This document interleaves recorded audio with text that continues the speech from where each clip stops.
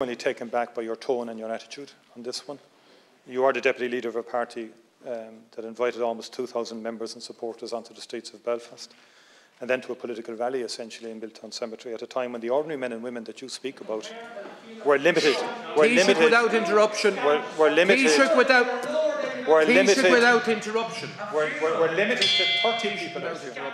Everybody else on the island was limited to 30 people at the funeral.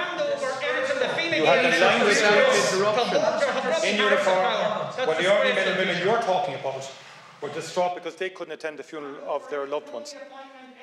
You were being interrogated. Whatever it investigated by police for takes, but you won't actually one just do the decent thing. You should withdraw that comment, Um, That should be withdrawn. Now, the point is this everybody with eyes in their heads could see what happened. And it's only about weeks after the event that you're raising such uh, a huge issue about, around.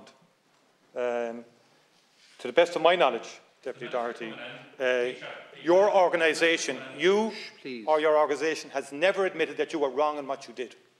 But you lecture everybody else. There's one law for Sinn Féin, there's a different law for everybody else when it comes to this. Um, and I just. Will, will, will, you, to, will you let him respond, please?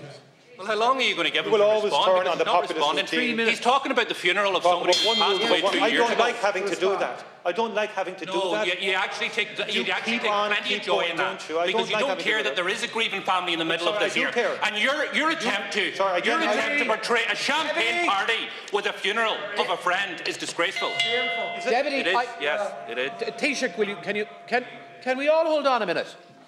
I said last week that if this constant interruption continues, I will suspend the House. If you want me to suspend the House, now continue to interrupt. But I think we'll do the courteous thing and hear the Taoiseach out. He has three minutes in which to respond. A very provocative statement he made in fairness, Sorry. Ceann Comhairle. Well, a very provocative, Be an outrageous statement, Ceann Comhairle. Be that- What do you it's the expect only- us to do? that as may. See, the only people who can call foul or criticise or s- to say others have created a scandal are the Sinn Féin party. I, I'm telling you the home truths. I don't like doing it. I have to do it. I find, I find what's going on in relation to the DFA. It was a wrong thing to do. They're public servants who have given long service to this state. Right? They've admitted they're wrong and they've apologised for one minute of a breach of social guidance. It pales in comparison, it's insignificance when compared to what you organised. That's bottom line, that's all I'm saying. And that's all I have to say about it. I ain't revisiting it anymore, Okay, Deputy time is Doherty. up, Taoiseach. And please Um, don't be so hypocritical in can your we response. can we in address Deputy Boyd Barrett's please? response, to our questions this evening in terms of Deputy Boyd Please, Barrett please, this resume evening. your seat. On a point of order, Resume- is the there's no minister going to come in and answer questions? Resume This is a house that keeps the minister accountable. Resume your seat. The Minister for Education will be in the House this evening, okay? Uh, just hear me out a second in terms of answering questions in relation to the Leaving Certificate.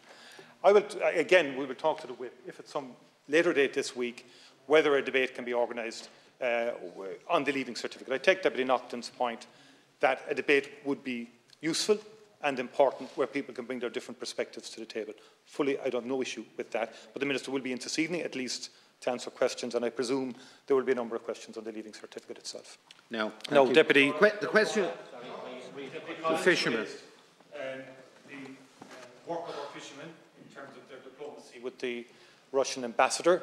I understand that one of the key fishermen involved thanked uh, Minister Coveney for his intervention, uh, and they both were at one apparently in terms of the successful outcome of the representations made by both Minister Coveney and by our fishermen.